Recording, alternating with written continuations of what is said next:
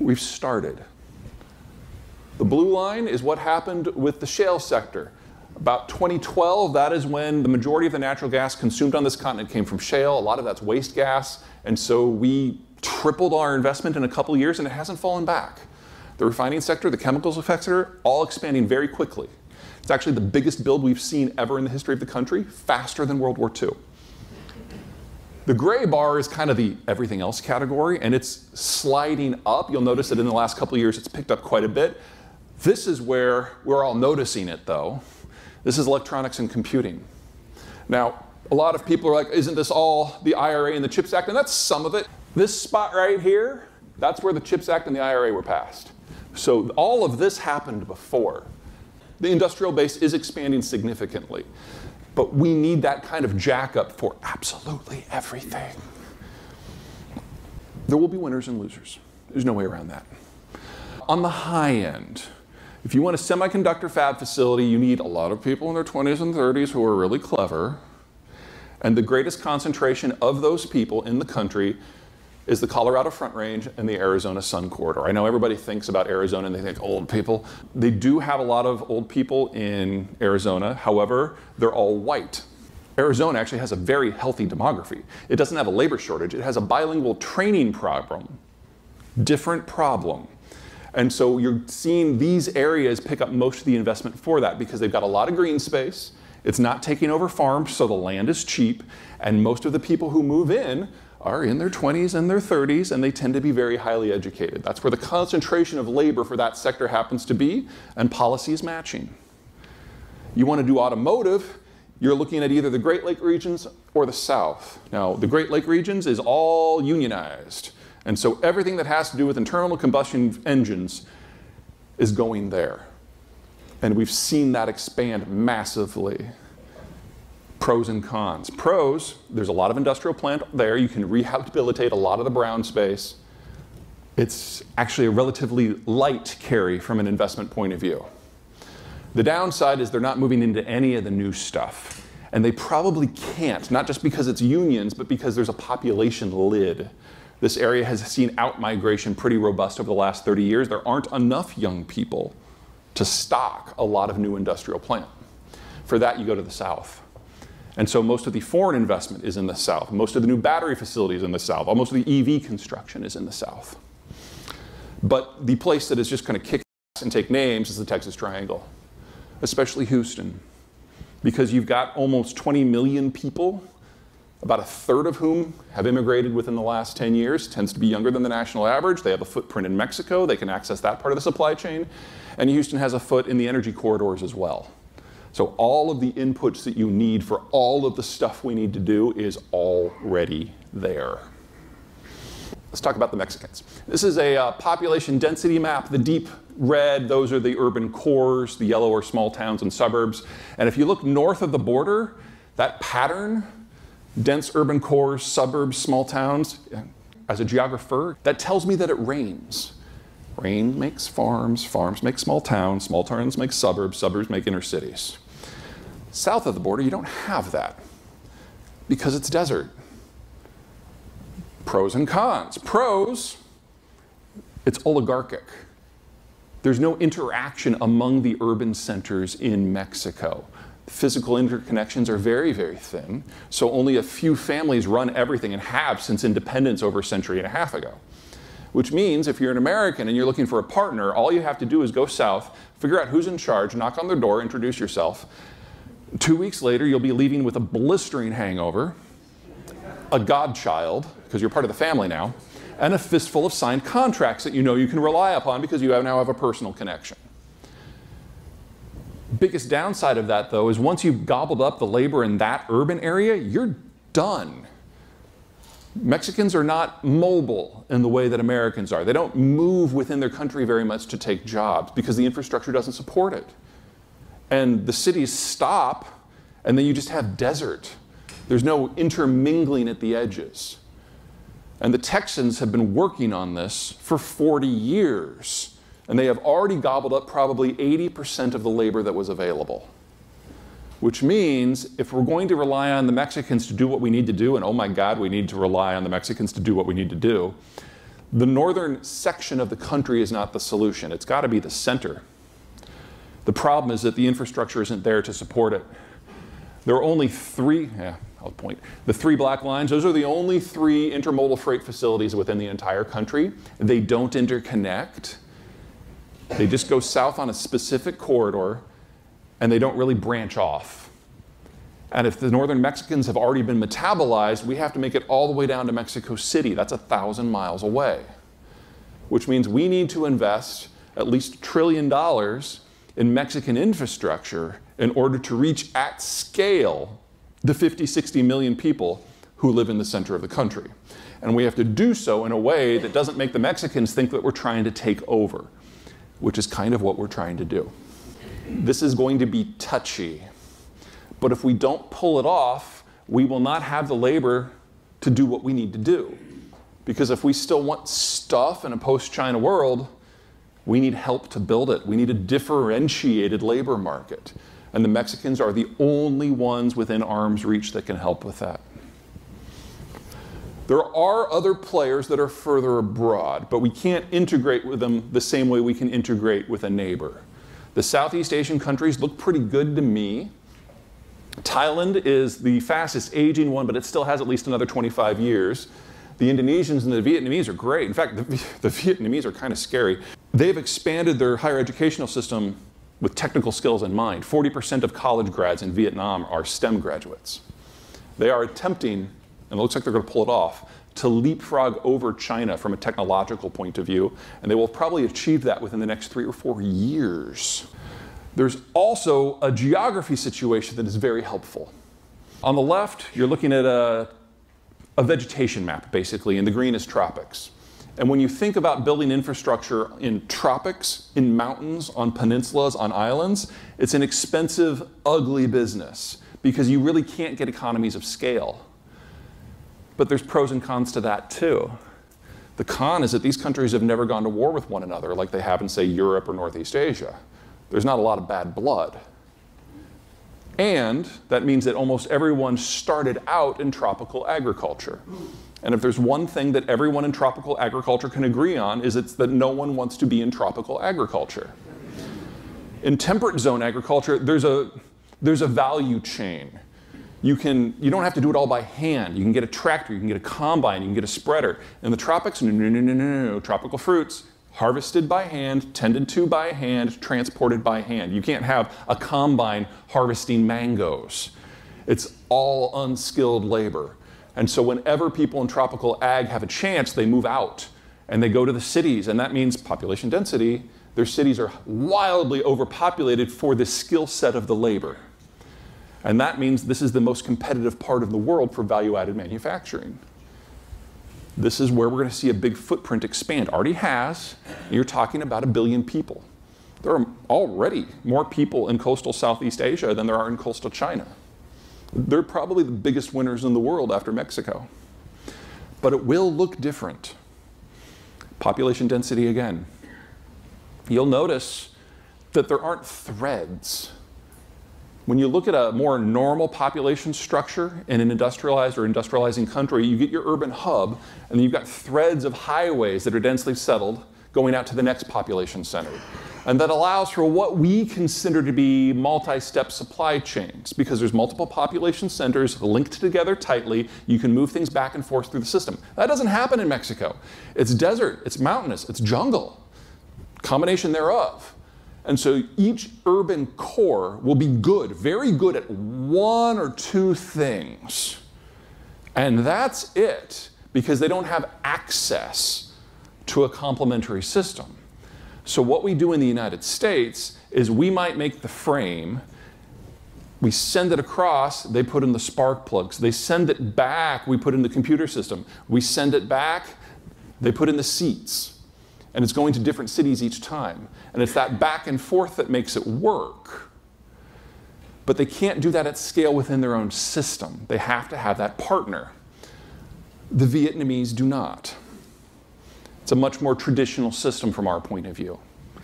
And so the Vietnamese can do top to bottom manufacturing. The only thing they have to worry about are the components that they can't make themselves, which are substantial. But you can have Vietnam as almost a one-stop shop for most of what we need. We just to kind of add the dusting of the tech that's necessary to make it work. It's cheaper to do. Unfortunately, it's 7,000 miles further away, so we can't do the back and forth. Two different models. All right, let's talk products. Uh, if you're at the uh, top of this, you don't know who your third tier suppliers are, much less your 13th. If you're at the bottom, you can probably fit your entire supply chain on the back of a cocktail napkin after throwing back a few bourbons. If you're on the left, or excuse me, on the right, uh, you're already within the NAFTA system. If you're on the right, you're dependent on the Chinese. Couple examples. Energy. American energy is made with American capital. It's on American pipelines. American workers going to American refineries, ending up with an American consumer. And that is not simple at all. 1,400 supply chain steps for the iPhone, 91% of which involve mainland China in some fashion. The new iPhone just came out a couple weeks ago. You might want to buy two. We're probably getting close to the point where this is the last one. Here's everybody else. Going to pull out a few of these. Uh, automotive. Courtesy of NAFTA 2, over 90% of the supply chains for autos sold in North America are manufactured in North America. Don't mean to suggest we're not going to have some hiccups, but the core of it has already worked and the rest is just network effects. That's not bad. In terms of foreign investors, the Europeans are of the belief that they can bring in all the parts and just assemble it here. That's not going to work very well. The Asians have figured out that they need to actually do the manufacturing here. So they're probably north of 70% manufactured within North America, where most European companies are less than 10. Heavy vehicles are going to be a problem, though.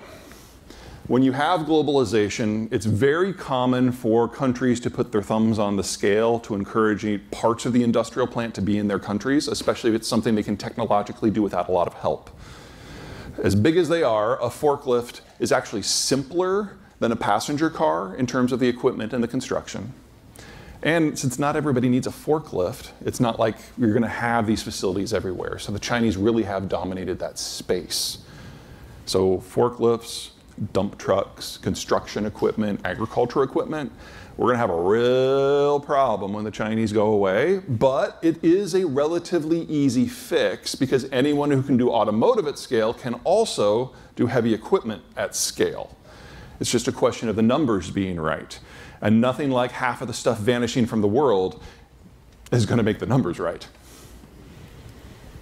That's where I'm worried the most. A successful electronics and computing sector requires a lot of different labor price points because the person who does the plastic molding is not the person who does the die cast or pulls the wire or builds the chip or does the software or polishes the lenses. That's a different step with a different skill set at a different price point.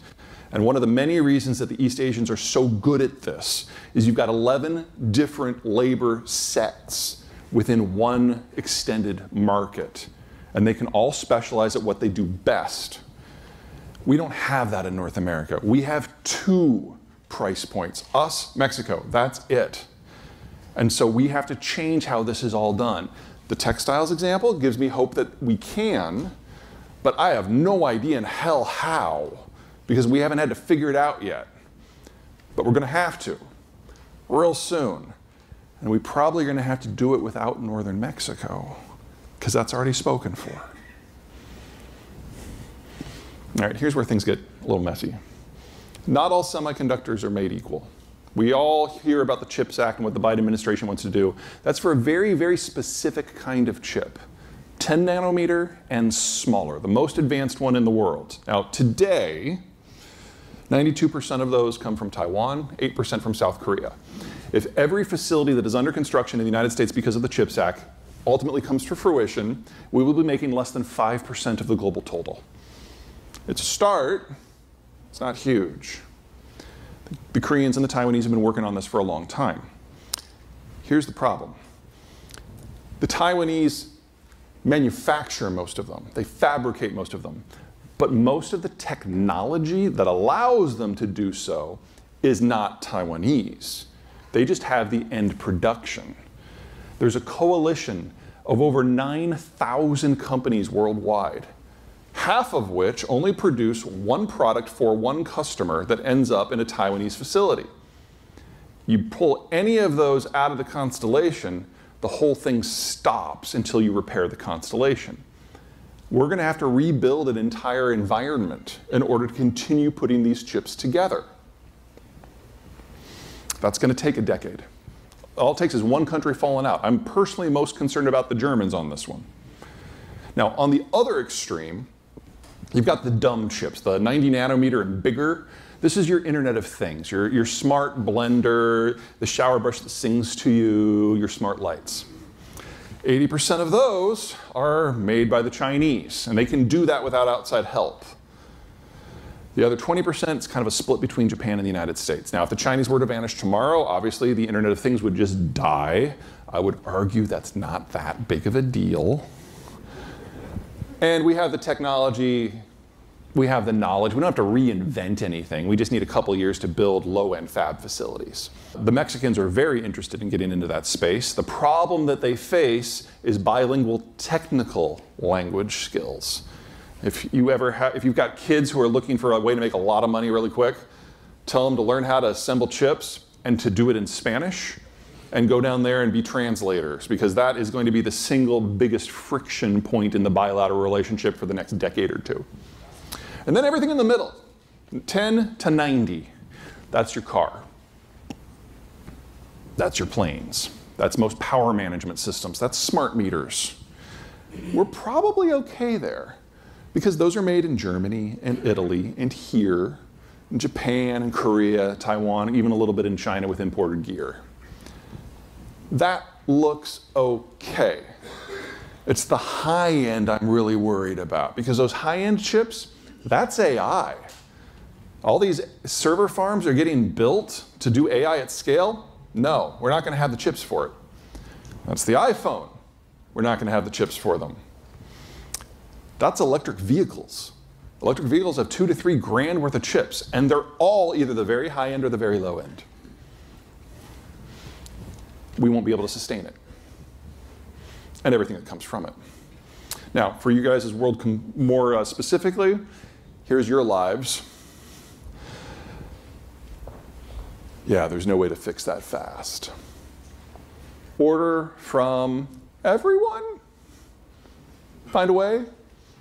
counting on half of them not making it.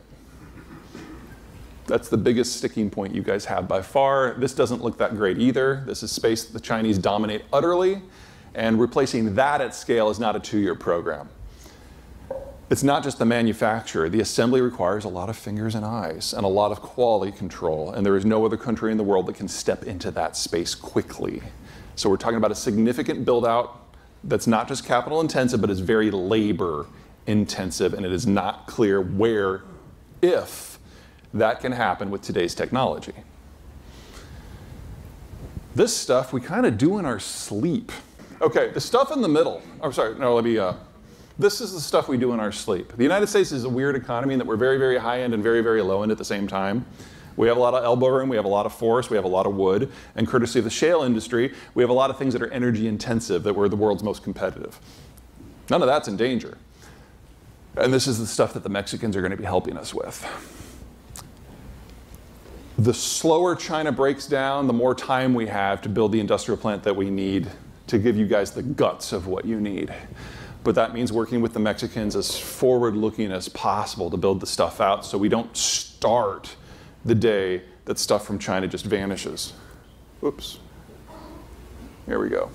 My biggest concern about China is the information blockade in there has now become so intense that we just can't get information at all. And we might not find out that the government has collapsed until the stuff just stops arriving. We're not going to have a lot of warning. All right, I showed you guys this last year, population density map on this side, uh, economic map on this side. The areas that are populated are also the areas that are economically viable. It's a pure weather thing. Russia has weather. People live where it's less The Russian strategy is pretty straightforward. Expand out of the weather or the area that's decent until you hit a series of geographic barriers that you can't shove tanks through. And then forward position your military in the access points between them. Ukraine is in the unfortunate position of not controlling those access points, but it's on the way to one in Romania and one in Poland. So whenever the Russians are done with Ukraine, if they can win, they will move on to the next line of countries, five of which are in NATO. American, Western foreign policy is very simple. Prevent them from having that opportunity. Now, here we have the Ukrainian demographic structure. After independence in 1992, over a third of the population either left or died. Some of the lowest birth rates we've ever seen. Another third of the population since the war has fled as refugees, mostly women and children. So this is pre-war data. We're very close to the point in Ukraine where they will not have the population density that is required to maintain industrial level infrastructure. So whether it is food or steel or coal or just stuff transiting, Ukraine is not going to survive the next 30 years, even if they win the war. There's another problem in that space. This is, um, hang on, my hair's falling apart here. This is the Russian permafrost. It's a geological phenomenon. You go 10 to 30 feet down and you hit a layer where it never melts but the top chunk melts in the summer and turns into a bog. It is the most difficult environment in the world for mineral extraction. So the Russians have the most expensive, most expensive upfront cost to bring stuff online. You basically have to wait for it to freeze solid. You run a berm out to your production site. You run a rail line or a pipe or a road along that berm, and then you have a, a pad that you drill from when it's frozen, because you can't drill through mud. It's a very dynamic landscape because if an aquifer cracks open, everything just kind of slides and follows the aquifer. Or maybe it drains down, in which case you just get a, a sinkhole pit that opens. Or maybe there's no aquifer and you just get a warm summer and the vegetation that's been frozen for eons starts to thaw, starts to decompose. Decomposing vegetable matter gives off methane, and the whole land buckles. Which means that the Russians have the highest maintenance costs for any mineral production in the world. Here's the problem. Russian population structure. Now, about the time that people who were 15 were getting born, 2004, 2005, that's when the Russians stopped collecting data and just started making it up. So you've got that big gouge in the 20 somethings, post Cold War birth rate collapse, and then you have fabricated data there probably are only half as many children as this data would suggest. The Russian educational system collapsed back in 1985. So we had a collapse in the birth rate, a collapse of the educational system, which means that the youngest people in Russia who actually have technical skills at scale, they turned 62 this year. The year before the Russians started fabricating data, the life expectancy for the average Russian male was 67. They already have the worst skilled labor pool relative to their population and their needs in the world. And they're very close from simply losing all of it.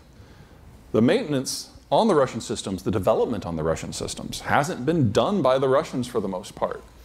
It's been done by BP or ExxonMobil, and especially the Dutch and the Germans, and all that went to zero when the war started. So whether it's sanctions, war damage, or simple lack of maintenance, we need to prepare for a world where everything that the world has become reliant upon from the Russians, palladium, platinum, oil, gas, even timber, just doesn't come anymore. There's another angle to it that's a little uglier. Now, this guy, uh, you can see where the ethnic Russian territories are in the, the top left. Uh, you got Turkic minorities off to the east and the south. The problem is this is not an ethnic map, it's a population change map. The green zones are where population growth is happening roughly on par with Florida and has for four decades. And the red zones are population losses roughly equivalent to Detroit and has been for four decades. Almost all the raw materials are produced in the green zones that are not controlled by ethnic Russians, where they're experiencing population growth, but they're shipped through and processed in the red zones where the last bits of the skilled labor pool are, that is in terminal decline. So you can add demographics to the reasons that we need to kiss the Russian stuff goodbye as well. Not to mention that this is going to be a very politically unstable region in the not too distant future because of the mismatch. One of the many reasons that the Russians feel that the Ukraine war is necessary is if they can get to kind of that outer crustal defense that they used to have in the Soviet period, then they can focus their forces internally to police this demographic flip. They're fighting for time. If they can pull this off, they probably buy themselves another 50 years. If they fail, they're gone within 20. All right, let me take a big dump on green tech.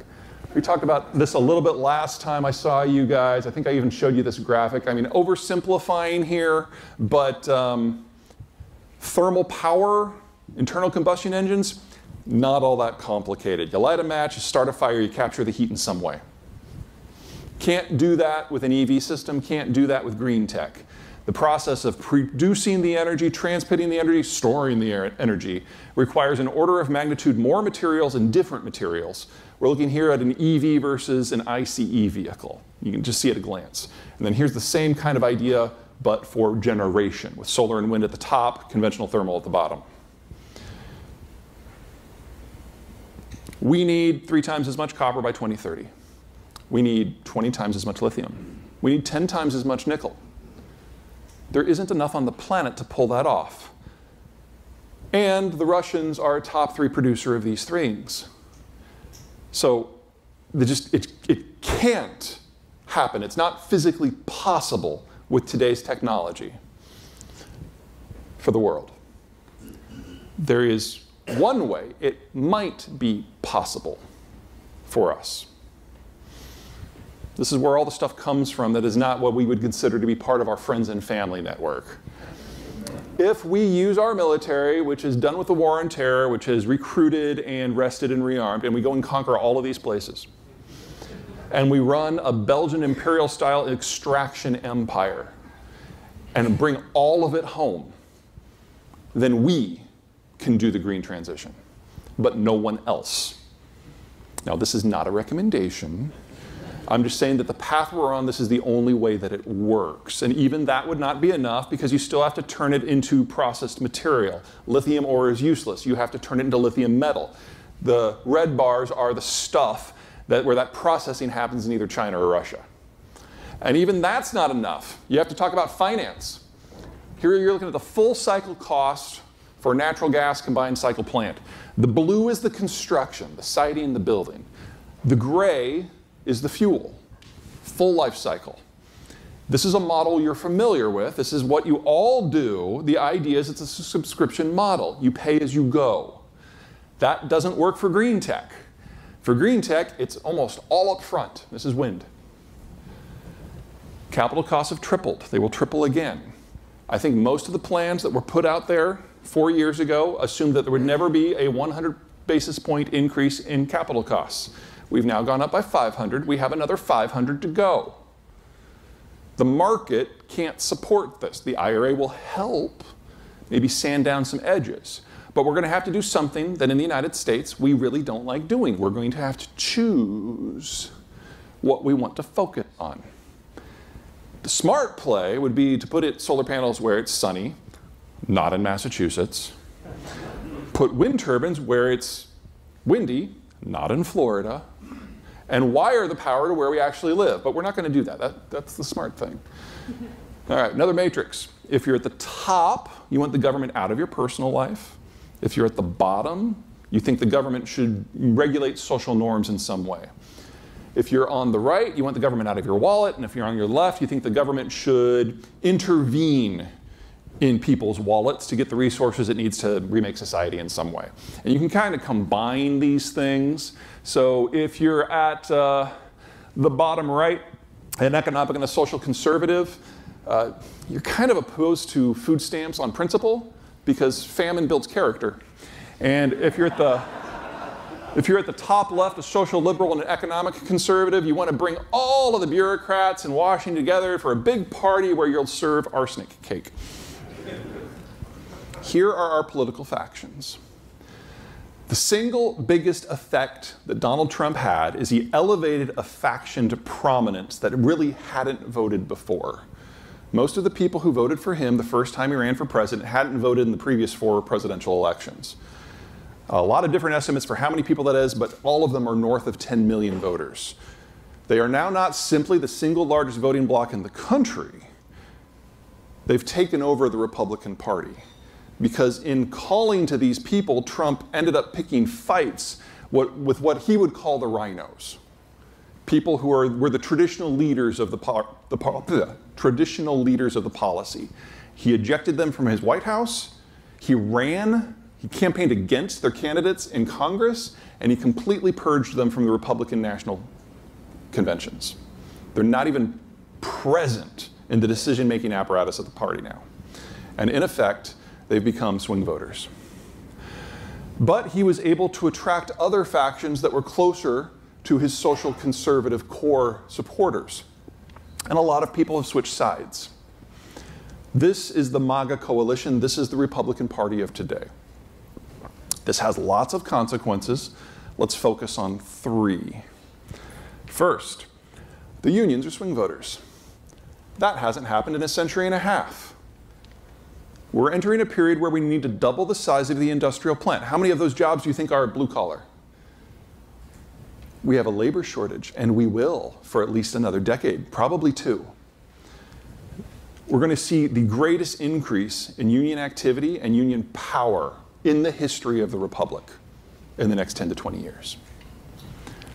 The business community are swing voters now. That hasn't happened in the last 150 years. And this is crazy because, you know, the unions versus business, that tug of war, that is modern economics. Their discussions, their debates, their compromises, their negotiations, that is our economic policy for five generations. And these people are right now not even in the room. Part of the reason why economic policy out of both the Obama and the Trump administration just seems so nuts it was because there's no one in either administration that can do math. In fact, on both sides, they're kind of offended by the concept that you need to be able to do math to run an economy. The group that most fancies themselves economists in the Biden administration today are the Greens. Until such time as the unions or the business or both end up in one coalition or the other, economic policy making decisions, choices about where we need to focus are going to be completely divorced from reality. And this is going to last bare minimum for another presidential cycle. Now, we will get through this. The idea that the two economically most capable, competent, and numerous voting blocs on these topics are going to remain outside the political system, that's silly. But it's going to take time for us to figure out where they're going to land. And the political coalitions are going to look very, very different on the other side. So, best of luck. Because not only will you not be getting good guidance or regulation, there isn't a logic to it. And that's just the environment you're operating in at a time when you're going to have to at least double the grid. No pressure.